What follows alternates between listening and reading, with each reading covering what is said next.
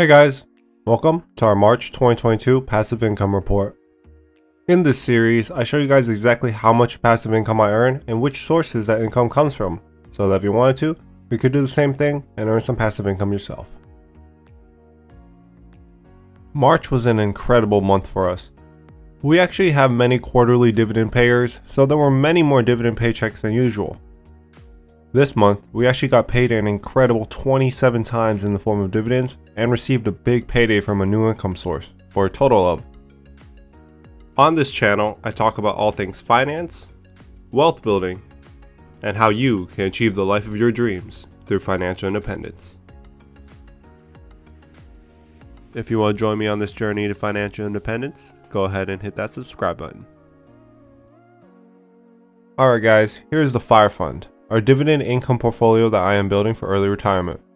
Most dividends in this account are reinvested into the underlying stock to create a dividend snowball.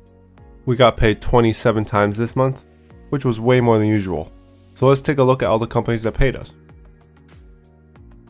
We started off the month with a small payment from Visa on March 1st. The one share I own only paid me 38 cents, but I actually got the stock for free from a Robinhood referral. So it's free money paying me even more free money. That's the best kind of passive income. Then, the next day on March 2nd, I actually got paid three times from Global X. They confirmed the dividend payment near the end of February, but it did not pay out until March, so this goes in the March passive income bucket. First, I got paid by Global X's Russell 2000 covered call ETF, ticker symbol RYLD, which I owned a total of 374 shares of at the time. Those 374 shares paid 23 cents per share, for a total of $86.70. This dividend payment allowed it to purchase three more shares on its own.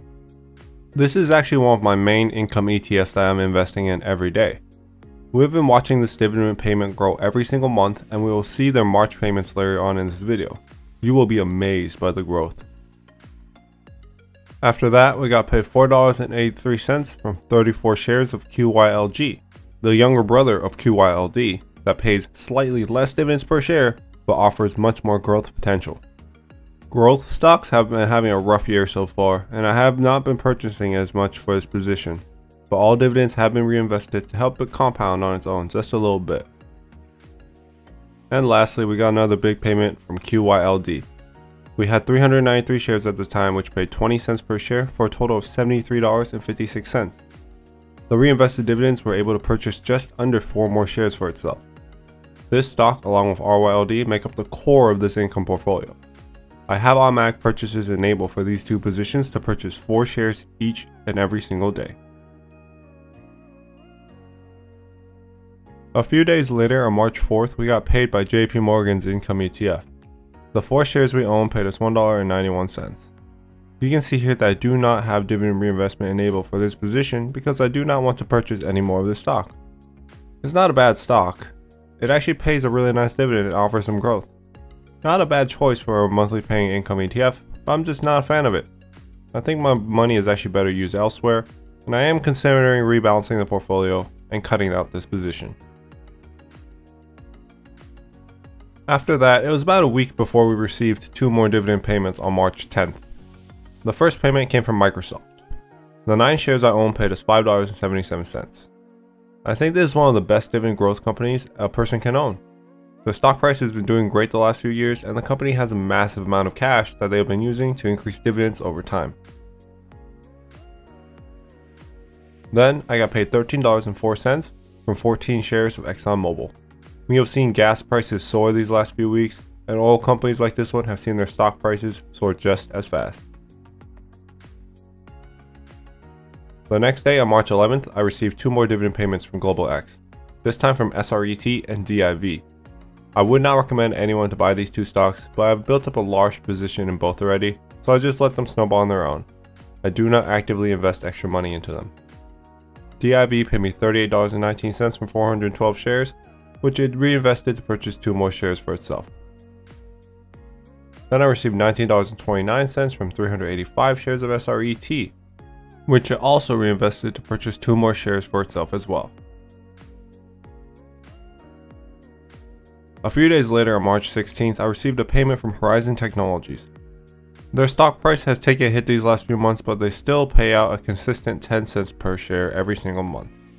The 184 shares I own paid $18.48, which was able to purchase an extra one share for itself. A few weeks later on March 24th, I actually got paid 5 times. First, Nvidia paid me 49 cents from 12 shares. This is one of my growth stock positions, so it's nice to get any dividends at all from it. I of course reinvested those 49 cents as well. Next, we got paid $27.20 from 40 shares of Qualcomm. This is another one of my growth stock positions that actually pays a nice quarterly dividend.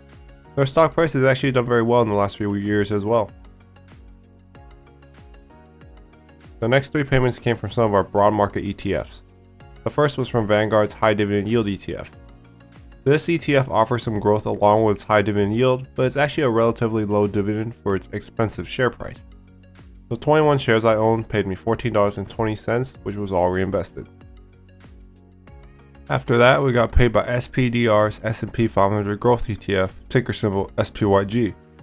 This was the main growth ETF in my income portfolio, so I built up a small position of 87 shares before I discovered QYLG, which then took its place. The 87 shares I own paid us $9.99. And lastly, we have Vanguard's Dividend Appreciation ETF. This is more of a dividend growth ETF actually. I only own 4 shares, but it did pay us a generous $3.10. The next day I got paid from NUSI, I stopped buying the stock altogether about 2 months ago because it did not do what I needed to do for the portfolio. I still do reinvest the dividends every month though. And the 122 shares I do own paid us $19.59. A few days later on March 28th, I got paid from Schwab's dividend ETF, ticker symbol SCHD. This is actually my ETF of choice because it contains quality dividend growth companies due to its strict investment criteria. Once I complete my income portfolio, I will most likely just invest everything I have into this stock. I currently own 16 shares which paid us $8.33. The next day on March 29th, we actually got paid 5 times again, and these were some massive dividend payments. Global X paid out again, but this time it was the March payments.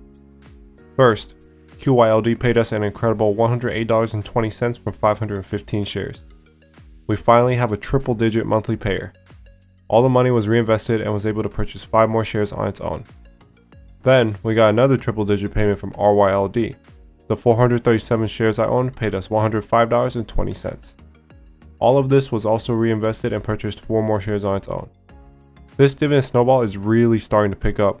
Just these two positions will pay me over $200 every month. After those two, we received a small $5.89 payment from 40 shares of QYLG. And the last two payments of the day came from Vanguard S&P 500 ETFs. I got paid $6.28 from 4 shares of VOO and $10.54 from 24 shares of VOOG. Now lastly on March 31st we received the last 5 dividend payments of the month. First, we received $1.33 from 3 shares of Fidelity National Financial. The dividends are not reinvested. I bought this last year when I was still trying to figure out what kind of portfolio I wanted to build, and I will probably sell this stock for a small profit and reinvest the money into QYLD.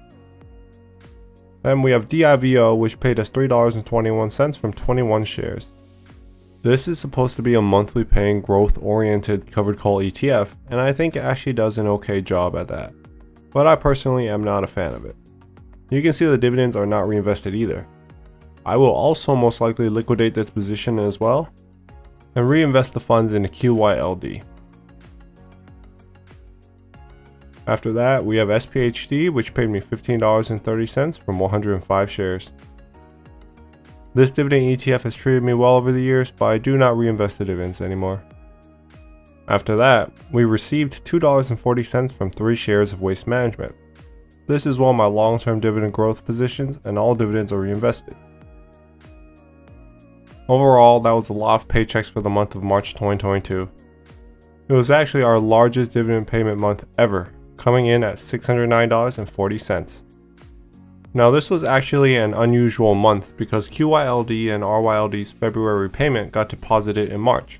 So technically it would have been closer to $400 in dividends this month.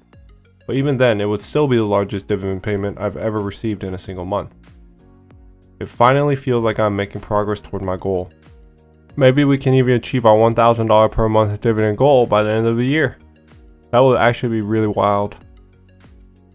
Moving on to my other sources of passive income, I got paid $22.49 of interest from my high yield savings account through Yotta Bank, where I keep my 6 month cash emergency fund.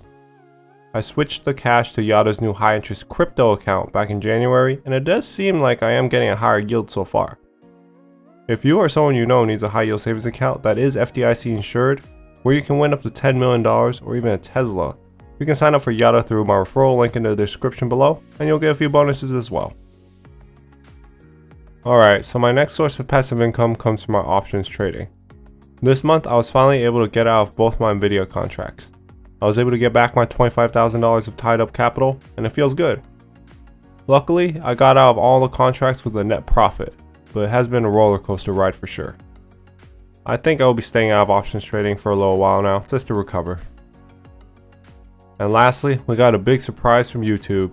I did not know they automatically deposit our payments for us when we earn at least $100 from ad revenue. So when I checked my bank account earlier this month, I was extremely surprised to see a payment of $229.24 from Google. We have been making YouTube videos for the last 9 months and we are finally seeing our hard work pay off. It feels good. I do not expect a payment from them every month, but maybe every other month going forward. I want to take this time to thank all of you for the support and joining me here on these videos. This would not be possible if not for all of you. So for the month of March 2022, I earned a total of $883.13 in passive income. It's not the highest paying month I've had, but it's still a substantial amount of money. Just a few years ago, it would take me 80 hours of work at a backbreaking job to earn $800. Now the money is just direct deposited into my account with little to no effort. It is said that the first 100,000 is the hardest part, but when you get that snowball rolling, it will eventually outwork you. We started this journey together not long ago with $80 a month in dividends. Look at how far we've come. Our portfolio is starting to help us more and more each month through compounding. Maybe a consistent $1,000 per month passive income is just around the corner. I hope you guys will be there with me when it happens. So that's it for our March 2022 passive income report. I hope you guys enjoyed the video. Please let me know if you have any questions in the comments below. And as always, thank you so much for joining me here on this journey. I appreciate you so much, and I'll see you on the next one.